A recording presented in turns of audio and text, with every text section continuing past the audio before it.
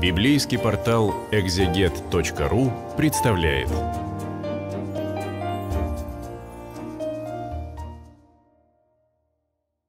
Библейский портал экзегет.ру представляет цикл бесед о книге «Бытия». Сегодня мы с вами читаем 33 главу.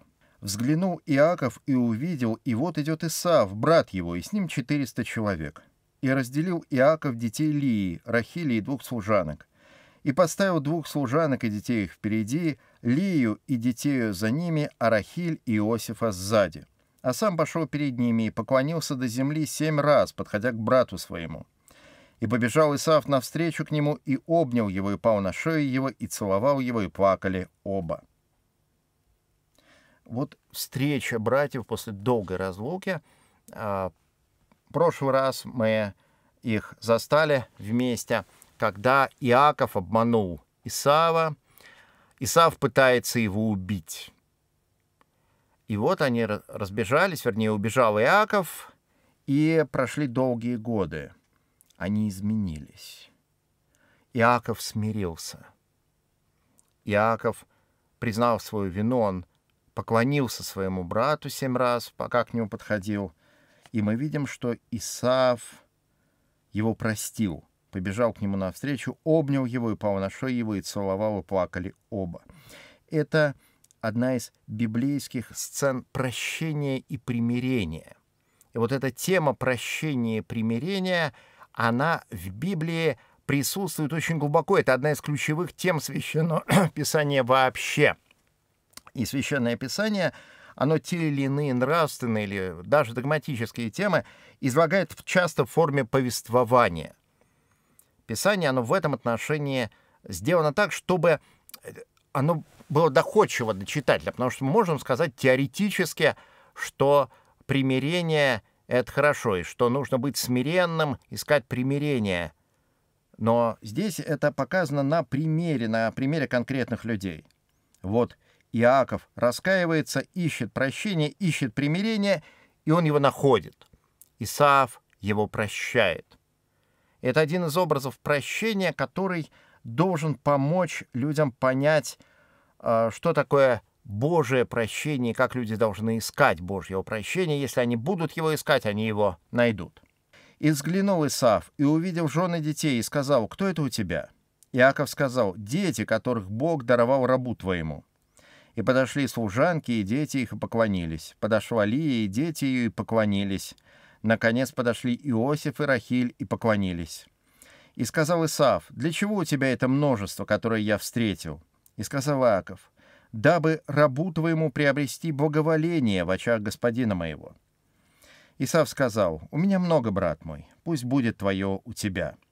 Иаков сказал, «Нет, если я приобрел благоволение в очах твоих, прими дар мой от руки моей, ибо увидел лицо твое, как бы кто увидел лицо Божие, и ты был богосклонен ко мне». Прими благословение мое, которое я принес тебе, потому что Бог даровал мне, и у меня есть все. И упросил его, и тот взял. Иаков, желая закрепить вот это примирение, он настаивает на том, чтобы Иаков, э, чтобы Исав взял эти дары и засвидетельствовал, что он больше не сердится, что мир установлен, что он эти дары уже принял. И сказал, Поднимемся и пойдем, я пойду пред тобою». Иаков сказал ему, «Господин мой знает, что дети нежны, а мелкий и крупный скот у меня дойный. Если погнать его один день, то помрет весь скот. Пусть господин мой пойдет впереди раба своего, а я пойду медленно, как пойдет скот, который предо мною, и как пойдут дети, и приду к господину моему в Сеир». Исав сказал, «Оставлю я с тобою несколько из людей, которые при мне». Иаков сказал, «К чему это? Только бы мне приобрести благоволение в очах господина моего. И возвратился Исав в тот же день путем своим в Сеир. А Иаков двинулся в Сакхов и построил себе дом, и для скота своего сделал шалаши. От всего он нарек имя месту — Сакхов. Иаков, возвратившись из Месопотамии, благополучно пришел в город Сихем, который в земле ханаанской, и расположился пред городом и купил часть поля, на котором раскинул шатер свой у сынов Еммора, отца Сихемова, за сто монет, и поставил там жертвенник и призвал имя Господа, Бога Израилева. И мы видим, что с Иаковом все в порядке, он не убит, он жив и здоров, у него он сохранил большую часть своих богатств, которых ему даровал Бог, и все это у него было потому, что он проявил рассудительность и смирение.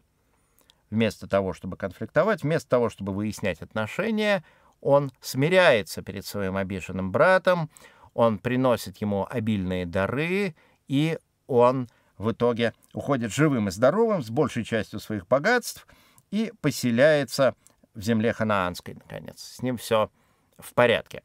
И это урок, конечно, того, как следует выходить из конфликтов. Мы а, склонны, а, это программа, которая в нас срабатывает автоматически в случае конфликта, настаивать на своей правоте. А, и это не работает. Это работает только на дальнейшее рас раскачивание конфликта. Но если мы смиряемся, если мы ищем мира, все кончается для нас гораздо лучше. Мы с вами прочитали 33 главу книги «Бытия». Мы читаем Писание в рамках библейского портала «Экзегет.ру».